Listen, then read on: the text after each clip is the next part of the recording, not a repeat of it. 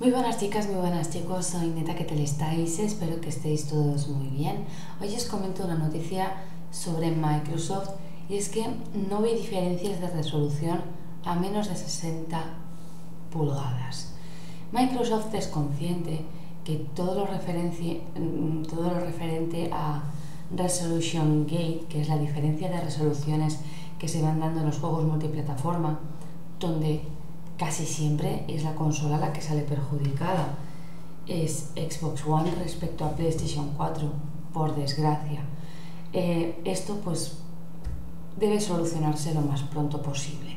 Así al menos lo ve uno de sus ejecutivos llamado Harvey Eagle, que considera que es un desafío que deben atajar. Es importante, ciertamente, es algo que los medios están alzando y eso deja la percepción de que una plataforma es más, potente que otra. Harvey considera, considera, que el potencial de la GPU eh, destinada a Kinect ahora es libre y puede servir a los desarrolladores para eh, que incrementen la fidelidad de sus juegos. A pesar de todo ello, la polémica eh, es como que ya está lanzada al, al público, ¿no? por lo que comentó. A menos que tengas una pantalla de más de 60 pulgadas, te desafío a que demuestres realmente la diferencia entre versiones de juegos third party.